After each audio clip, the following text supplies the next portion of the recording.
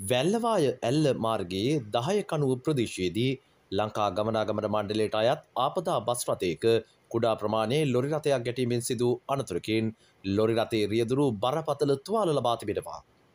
Lorry රථය සහ bus රථය මුහුණට මුහුණ ගැටීමෙන් මෙම අනතුර සිදු වී ඇති අතර අනතුරින් තුවාල ලබා ඇත්තේ දෙමෝදර ප්‍රදේශයේ පදිංචි පුද්ගලයෙකු බවයි පොලිසිය සඳහන් කළේ.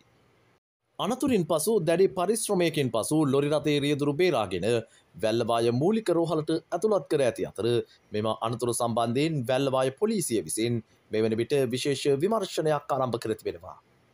අනතුර සම්බන්ධයෙන් බස් රථයේ රියදුරු පොලිසිය විසින් අත්තරංගොටගෙන ඇති අතර ඔහු අද දින වැල්ලවාය මහේස්ත්‍රාත් අධිකරණයට ඉදිරිපත් කිරීමට නියමිතව තිබුණා.